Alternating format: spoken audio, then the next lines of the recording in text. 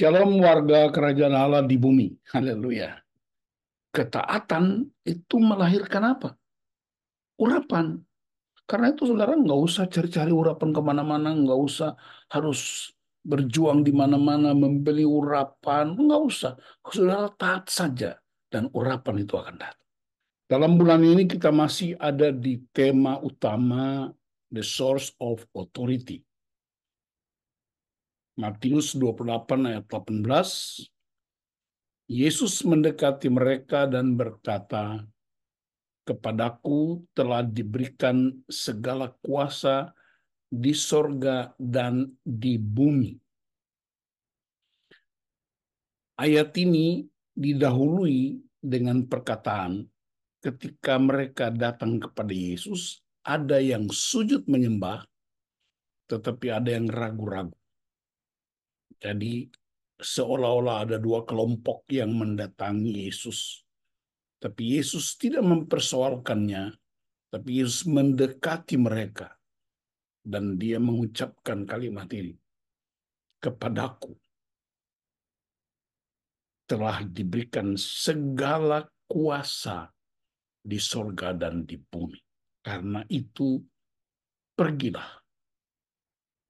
Nah, pagi ini kita akan belajar tentang prinsip saling menghormati otoritas. Matius pasal 3 ayat 13 sampai 17. Maka datanglah Yesus dari Galilea ke Yordan kepada Yohanes untuk dibaptis olehnya. Tetapi Yohanes mencegah dia katanya, Akulah yang perlu dibaptis olehmu dan engkau yang datang kepadaku? Lalu Yesus menjawab katanya kepadanya, biarlah hal itu terjadi karena demikianlah sepatutnya kita menggenapkan seluruh kehendak Allah. Dan Yohanes pun menurutinya.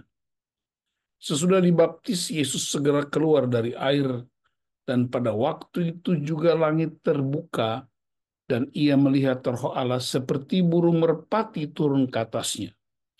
Lalu terdengarlah suara dari sorga yang mengatakan, Inilah anakku yang kukasihi, kepadanya lah aku berkenan. Saudara-saudara, kita tahu bahwa baptisan yang dilakukan Yohanes Pembaptis sering disebut dengan istilah baptisan proselit Baptisan proselit adalah tindakan yang dilakukan untuk orang-orang Yahudi. Dan mereka terhisap ke dalam komunitas itu. Tapi pertanyaannya kenapa Yesus ikut di situ? Karena pertama Yesus secara manusia dia adalah orang Yahudi. Dia mesti taat pada semua hukum. Tetapi orang-orang yang datang dibaptis adalah mereka berjuang untuk hidup dalam kebenaran. Dan karena itu Yesus sedang menyatakan solidaritas terhadap mereka yang sedang berjuang untuk hidup dalam kebenaran. Jadi seluruh proses hidup manusia itu Yesus ikut terlibat. Kitab Ibrani berkata dia turut merasakan kelemahan-kelemahan kita. Sekalipun dia tidak berbuat dosa. Nah, kita perhatikan Yesus dan Yohanes saling menghormati otoritas. Ketika Yesus datang kepada Yohanes di Sungai Yordan itu, Yohanes mencegah dia dengan perkataan ini. Akulah yang perlu dibaptis olehmu, dan engkau yang datang kepada aku. Yohanes Pembaptis tahu betul siapa Yesus. Ya, jarak kelahiran mereka kan cuma enam bulan. Dan mereka dua ini sudah punya hubungan sebelumnya karena Maria mengunjungi ibunya Yohanes Pembaptis ketika dia sedang mengandung. Jadi hubungan itu sudah terjadi. Nah, Yohanes Pembaptis menyadari siapa Yesus. Tapi kemudian sudah perhatikan jawaban Yesus ayat 15. Lalu Yesus menjawab katanya kepadanya. Biarlah hal itu terjadi karena demikianlah sepatutnya kita menggenapkan seluruh kehendak Allah dan Yohanes pun menurutinya. Jadi di satu pihak Yohanes Pembaptis tahu siapa Yesus, dia mengenal Yesus, tetapi Yesus pun tahu bahwa Yohanes Pembaptis diberi otoritas untuk melakukan baptisan proselit itu. Dan karena itu Yesus datang dan tunduk pada otoritas. Saudara, sampai di sini saya ingin ajak kita untuk membayangkan seorang Yesus, Raja, Tuhan, Juru Selamat, Anak Allah. Segala kuasa di sorga dan di bumi diberikan kepadanya. Tapi dia menghormati otoritas yang ada di bumi. Apa tujuannya? Supaya kita menggenapkan seluruh kehendak Allah ternyata kehendak Allah, otoritas Bapa berada di atas segala sesuatu. Ini sekaligus Yesus mengajarkan Yohanes Pembaptis untuk tunduk dan taat pada otoritas Bapa. Karena apa yang kamu dapatkan, penugasan yang diberikan kepadamu, itu datang dari Bapa. Dan karena itu mari kita periksa saja di rumah kita. Apakah kita pernah saling menghormati otoritas di antara suami dan istri, orang tua dan anak, gembala dan tim kepemimpinan atau tim pelayanan, gembala dan jemaat, pemimpin dan orang-orang yang dipimpin. Sebelum saya lanjut, saya ingin menyaksikan singkat. Anak kami dua orang ya. Yang pertama namanya Marinda Kongres Yanson Liur, sekarang dia umur 30 tahun. Yang kedua Marinda Kevin Yeremia Liur umur 23 tahun. Waktu Yanson anak pertama itu umur 15 tahun, dia sudah biasa nyetir mobil walaupun tidak keluar kompleks. Kalau dia keluar saya harus damping. Dia belum punya SIM.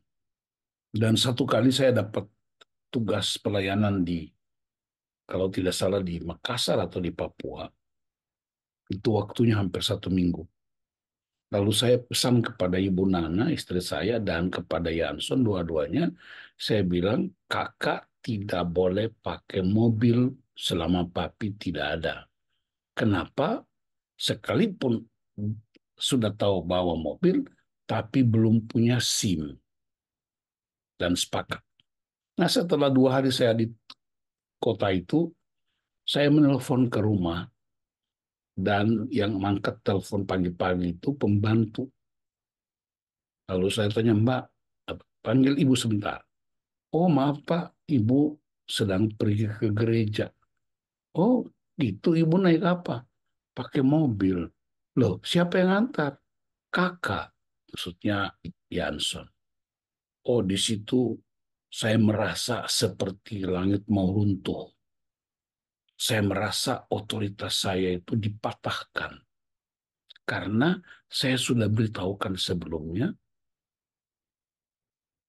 dan saya diam tapi saya hati saya itu sepertinya sangat marah. Nah setelah malamnya saya telepon Ibu Nana, saya bilang, Mi, kenapa izinkan kakak pakai mobil? Kan dia belum punya SIM. Lalu Ibu Nana bilang, iya sayang Pak, 50 ribu naik taksi. Mendingan diantarkan lewat belakang. Nah, di situ kemudian saya kasih prinsipnya kepada Ibu Nana. Bahwa ini bukan soal 50 ribu. Ini bukan soal uh, kemudahan-kemudahan, tapi ini soal mematahkan otoritas. Nah, kalau saudara baca di Matius pasal 24 ayat 12, roh durhaka itu muncul karena kasih itu semakin dingin. Itu perang terjadi di mana-mana antar bangsa, antar kota, antar desa, antar komunitas. Karena kasih dingin itu menimbulkan roh durhaka. Nah, roh durhaka itu muncul karena kita saling mematahkan otoritas. Suami larang, istri membolehkan. Mama larang, Papa bolehkan. Anak-anak akan menerima yang disebut roh durhaka. Dan mereka akan melakukan perbandingan dan kecenderungan untuk melawan. Dia bisa menghormati ayahnya dan dia bisa melawan ibunya. Atau dia bisa melawan ibunya dan sebaliknya. Kenapa? Karena di antara kita suami istri itu tidak sepakat.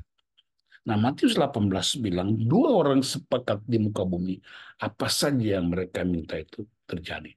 Dua orang sepakat, Yohanes dan Yesus. Tapi Matius 18, dua orang sepakat itu bicara tentang siapa? Suami istri. Jadi kesepakatan melahirkan kuasa. Karena itu mari kita periksa dalam hidup kita. Apakah kita pernah mematahkan otoritas suami di depan anak-anak kita atau kita patahkan otoritas istri di depan anak kita? Maka apa jalan keluarnya? Suami istri sebelum mengeluarkan keputusan buat anak-anak, kita harus sepakat. Ketika papa larang, ibu mendukungnya. Ketika ibu larang, papa mendukungnya. Dan itu akan membuat anak-anak kita akan bertumbuh menghormati sehingga di dalam keluarga kita tidak ada anak emas, anak perak, anak tembaga, anak tanah dan lain-lain. Dan ini penting karena problematika yang muncul di gereja, problematika yang muncul di masyarakat itu semua bersumber dari prinsip kehidupan keluarga. Sebab keluarga adalah tempat utama, keluarga adalah tempat yang paling dahsyat memulai karakter Kristus dan di sana dibagikan kuasa kasih. Yang kedua, saudara, kalau orang sudah taat, maka yang terjadi apa? Terjadi pengurapan. Pengurapan roh kudus. Perhatikan ayat 16. Sesudah dibaptis, Yesus segera keluar dari air dan pada waktu itu juga langit terbuka dan ia melihat roh Allah seperti burung merpati turun ke atasnya. Jadi ketaatan itu melahirkan apa? Urapan. Karena itu saudara nggak usah cari-cari urapan ke mana-mana, nggak usah harus berjuang di mana-mana membeli urapan, nggak usah. Saudara taat saja dan urapan itu akan datang. Saya hamba Tuhan yang dibesarkan di keluarga pendeta dan sampai saya jadi hamba Tuhan tahun-tahun tidak pernah ada pelayanan mujizat apa-apa. Dan kadang-kadang saya iri terhadap teman-teman hamba Tuhan yang dari gereja lain. Kenapa dia berdoa orang bisa sembuh? Kenapa dia berdoa orang bisa pelepasan? Kok saya berdoa nggak pernah terjadi apa-apa? Tapi ketika saya mulai ikut camp pria tahun 2005, dan saya mulai pelajari prinsip-prinsip ketaatan, mengalami kebenaran firman bukan sekedar menambah pengetahuan, tapi mulai mempraktekannya terus menerus maka terjadi yang seperti yang pernah saya saksikan. Ada orang gila kita doakan dan bisa sembuh. Ada orang-orang terikat, kuasa gelap didoakan dan bisa dilepaskan. Ada orang sakit didoakan sembuh, bahkan ada orang lumpuh di beberapa tempat yang kami layani di Aceh, di Tanimbar, dan sembuh. ya Dan seterusnya, dan seterusnya. Sampai hari saya bicarain. Jadi ketika anda taat, maka urapan itu akan datang. Yang ketiga, urapan supaya apa? Dapat kuasa dan perkenanan Tuhan. Lalu terdengarlah suara dari sorga yang mengatakan, inilah anakku yang kukasih, kepadanya lah aku berkenan. Wow. Jadi ketaatan itu tidak hanya melahirkan urapan, tidak hanya melahirkan kuasa, tapi perkenanan. Dan setelah peristiwa Sungai Yordan, Yesus dibawa oleh roh ke padang gurun untuk dicobai. Dia seolah-olah diuji kesahihan. Dan setelah selesai di padang gurun itu, dia kembali. Dia diberikan kitab suci, kitab Yesaya, dan dia mulai membacanya. Pada hari ini, kenapa nasi ini? Aku diurapi untuk memberitakan kabar baik, untuk membebaskan orang-orang yang terikat, untuk melepaskan orang-orang yang tertindas, untuk menyatakan kesembuhan bagi orang-orang yang sakit dan tahun rahmat Tuhan dinyatakan. Dan itu semua karena ketaatan itu. Dapat kuasa untuk apa? Dapat kuasa untuk lakukan pekerjaan-pekerjaan Bapak itu memberitakan Injil, kabar baik, melakukan mujizat. Mujizat supaya apa? Supaya orang percaya dan diselamatkan. Jadi mujizat bukan supaya kita dihormati, kita dipuji, tapi mujizat terjadi supaya orang bisa datang kepada Kristus. Karena percaya kepada Yesus, orang mendengar explanation, orang mendengar cerita, orang mendengar kisah, tapi juga orang percaya juga karena melihat tanda. Apalagi orang Yahudi itu penuh dengan keyakinan, kepercayaan karena melihat tanda-tanda. Jadi ini struktur berpikirnya penulis Matius dan juga ini pola yang Tuhan tetapkan. Ketaatan itu menghasilkan urapan. Urapan itu mendapatkan kuasa. Kuasa untuk memberitakan Injil dan melakukan mujizat. Supaya orang menjadi percaya dan diselamatkan. Dan catatan penting ialah Allah tidak akan bekerja di tengah-tengah pemberontakan. Mari kita periksa hidup kita di dalam keluarga, hubungan suami istri, orang tua anak, di dalam jemaat, hubungan gembala, para pekerja, para pelayan, sesama pelayan, sesama warga jemaat. Jadi ketaatan itu bukan ketaatan membabi buta. Bukan ketaatan yang demi untuk dipuji, tapi ketaatan itu karena ada kuasa firman yang bekerja begitu dahsyat dan luar biasa. Ketika orang percaya dan diselamatkan, terjadi apa? Terjadi yang kesaksian. Wahyu 12 ayat 11 bilang, cara mengalahkan iblis itu dua.